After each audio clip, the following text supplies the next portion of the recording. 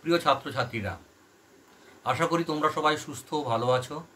তোমরা জানো, এখন পৃথিবীতে করোনা ভাইরাসের মহামারী চলছে, আর এই করোনা ভাইরাসের কারণেই স্কুলের পঠন পাঠন বন্ধ আছে, স্কুলও বন্ধ আছে।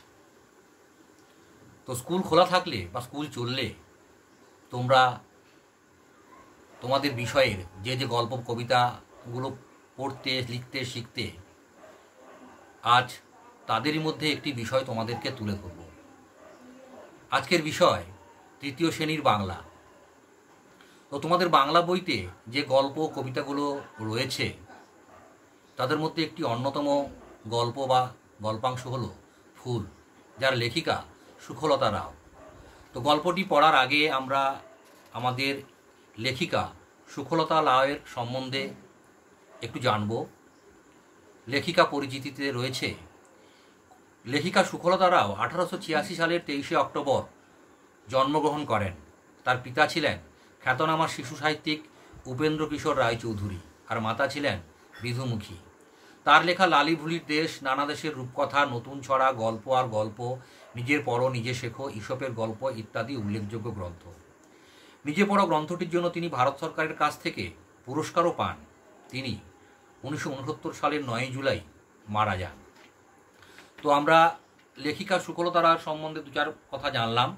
এরপরে আমরা মূল যে গল্প, তাতে ঢুকব। ঢোকার আগে তোমাদের সবাইকেই বলছি, তোমরা খুব মনোযোগ সহকারে গল্পটি পড়ো। যদি কোনো, পড়তে পড়তে যদি কোথাও তোমাদের কোনো প্রশ্ন থাকে, আমাকে জিজ্ঞেস করবে। শোনো, অনেক কাল আগের কথা, যখন মানুষ জন্মায়নি, তখন পৃথিবীতে ফুল ছিল না। মাটির উপর ছিল কেবল বড় বড় ঘাস আর পাতা গাছ। আলো এসে ফুলেদের খুঁজে যেত, বাতাস পাতা শুকে যেত। হায়, ফুল নেই। এক রাতে ফুলপরীরা নেমে এলো পৃথিবীর পাতা ভরা বাগানে। তাদের দেশে নাকি অনেক ফুল। তারা ফুলের পাপড়ির পোশাক পরে, ফুলের মধু খায়। পরীরা বলা বলি করল আচ্ছা এমন চমৎকার জায়গায় ফুল নেই, তাও কি হয়? চলো, আমরা ফুল নিয়ে আসি। বলে তারা সকলে মিলে তাদের দেশ থেকে অনেক ফুলের বীজ নিয়ে এলো। সেই সব বীজ ছড়িয়ে দিল মাঠে মাঠে, বনে বনে। আর সেই সব বীজ থেকে গাছ গজালো। তারপর সেই গাছে দেখা দিল নানা রঙের ফুলের কুড়ি। সেই কুঁড়িও একদিন ফুটলো, সাদা, নীল, হলদে, লাল, বেগুনি ফুলে ছেয়ে গেল গোটা বন। আলো এসে তাদের গায়ে হাত বুলিয়ে দিল। বাতাস তাদের দুলিয়ে দিয়ে গেল। মৌমাছিরা ছুটে এলো মধু খেতে। এখনও নাকি ফুলপরীরা নেমে আসে পৃথিবীতে। যেখানে মানুষরা থাকে, সেখানে নয়। রাত হলে চাঁদ উঠলে তারা গভীর জঙ্গলের ভিতর নামে। সারা রাত ফুল বনে হাত ধরাধরি করে নাচে, ভোর না হতেই চলে যায়। সকালবেলা সেখানে গেলে নাকি তাদের দেখতে পাওয়া যায়, তাদের পায়ের চাপ, চাপে ঘাস শুয়ে পড়েছে। তোমরা কি কেউ দেখেছ? তো প্রিয় ছাত্রছাত্রীরা, আমি গল্পটা তোমাদের পড়ে শোনালাম। আশা করি তোমরা বুঝতে পেরেছ। আসল কথা, গল্পের মূল বিষয়বস্তু হলো যে ফুল। ফুল একটা সুন্দর শব্দ, পবিত্র শব্দ। তো অনেক কাল আগের কথা, যখন আমাদের পৃথিবীতে মানুষ জন্মায়নি। জন্মেছে শুধু গাছ, গাছরা, বন, পাতা। একদিন ফুলপরীরা তাদের দেশ থেকে আমাদের এই পৃথিবীতে নেমে এলো। তারা দেখল, এখানে শুধু পাতা আর গাছ, কোনো ফুল নেই। অবাক হলো তারা। এত সুন্দর জায়গায় যে ফুল নেই। তাই তারা তাদের দেশ থেকে নানা রকমের ফুলের বীজ নিয়ে এসে আমাদের এই সুন্দর পৃথিবীর পাতা ভরা বাগানে ছড়িয়ে দিল। কিছুদিনের মধ্যেই সেই পাতা ভরা সেই সমস্ত বীজ থেকে গাছ গজালো আর সেই গাছে জন্ম নিল। দেখা দিল নানা রকমের ছোট বড় লাল, নীল, সাদা, হলদে রকমের কুঁড়ি। কিছুদিনের মধ্যেই সেই কুঁড়ি ফুলে ফুলে, কুঁড়ি ফুল হয়ে ফুটে উঠল। তো এখনও লেখিকা বলেছেন যে এখনও দেখা যায় যে এখনও এই সুন্দর পৃথিবীর বিভিন্ন জায়গায় যেখানে মানুষরা থাকে না, গভীর জঙ্গলে মধ্যে ফুলপরীরা নেমে আসে আর তারা সবাই মিলে আনন্দে হাত ধরাধরি করে নাচে আর ভোরবেলা সূর্য ওঠার আগেই আবার নিজেদের দেশে ফিরে যায়। এখনও সেই কারণেই সকালবেলা বিভিন্ন জায়গায় তাদের ঘাসের উপরে পায়ের ছাপ দেখা যায়।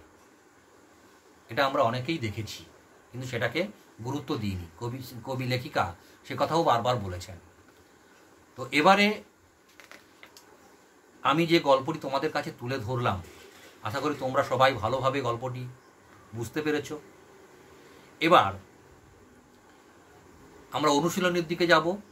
অনুশীলনীতে প্রথমেই রয়েছে একের দাগ, বড় প্রশ্ন, প্রশ্নগুলির উত্তর দাও। এখানে দুটো প্রশ্ন রয়েছে, তার মধ্যে অসংখ্য ছোট ছোট কোশ্চেনও রয়েছে এবং প্রশ্নের লাইন তোলা রয়েছে।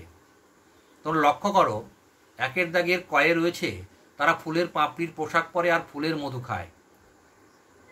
এই লাইনটা তোলা আছে, তোমাদেরও এই লাইনটা তুলতে হবে।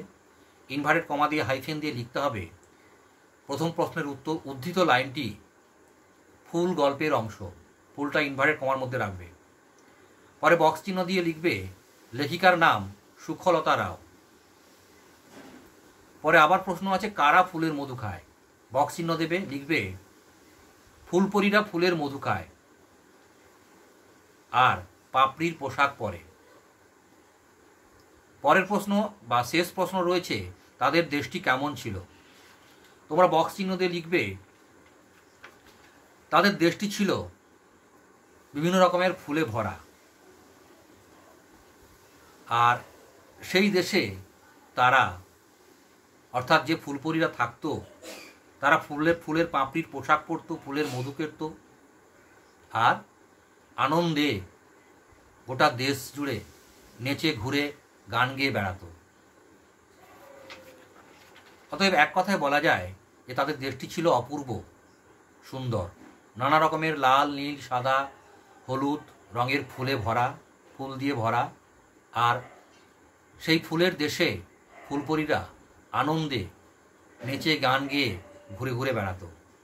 খয়ের দাগের দ্বিতীয় কোশ্চেন আছে লাইন তুলে এখনও নাকি ফুলপরীরা নেমে আসে পৃথিবীতে? তোমরা ওই লাইনটা তুলবে, তুলে ইনভার্ট কমা দিয়ে হাইফেন দেবে। প্রথম প্রশ্নের উত্তর লিখবে, প্রথম প্রশ্ন রয়েছে, উদ্ধৃত লাইনটি কোন গল্পের অংশ? তো তোমরা প্রথমে বক্স চিহ্ন দিয়ে লিখবে উদ্ধৃত লাইনটি ফুল গল্পের অংশ। বক্স চিহ্ন দিয়ে নিচে লিখবে লেখিকার নাম সুখলতা রাও। পরে প্রশ্ন রয়েছে, তারা পৃথিবীর কোথায় নেমে আসে এবং কি করে লেখো? বক্স চিহ্ন দিয়ে লিখবে, তারা পৃথিবীর সেই সব জায়গায় নেমে আসে যেখানে জনবসতি কম, মানুষ থাকে না। সেই সমস্ত পাতা ভরা জঙ্গলে গাছগাছলায় ভরা, ফুলে ভরা জঙ্গলে নেমে আসে। আর নেমে এসে তারা নিজেরা পরস্পরের হাত ধরাধরি করে সারা রাত ধরে নাচানাচি করে, আনন্দ করে। আর ভোরবেলা সূর্য ওঠার আগে আবার নিজেদের দেশে ফিরে যায়। এই হচ্ছে একের দাগের প্রশ্ন উত্তর। তো ছাত্রছাত্রীরা, তোমরা তোমাদের পাঠ্যপুস্তকের বাংলা পাঠ্যপুস্তকের ফুল নামক গল্পংশটি আজকে জানলে তার সম্বন্ধে জানলে এবং পড়লে। এবং আমি একের দাগের যে বড় প্রশ্ন দুটোর আলোচনা করলাম, সেগুলো তোমরা আশা করি বুঝতে পেরেছ। এবং এ সম্পর্কে বা এই গল্প থেকে যদি আরও কিছু প্রশ্ন জানার থাকে, তাহলে তোমরা আমাকে সেই প্রশ্ন লিখে জানাতে পারো। আমাদের নিজস্ব স্কুলের ওয়েবসাইট ইমেল আইডি রয়েছে ভসাম রয়েছে। তোমরা তার মাধ্যমে তোমাদের বাড়ির অভিভাবক, অভিভাবকদের দিয়ে তোমাদের যদি কোনো প্রশ্ন থাকে সে সম্বন্ধে আমাদের লিখে পাঠিও। ভালো থেকো, সুস্থ থেকো, ঘরের মধ্যে থাকবে। ধন্যবাদ।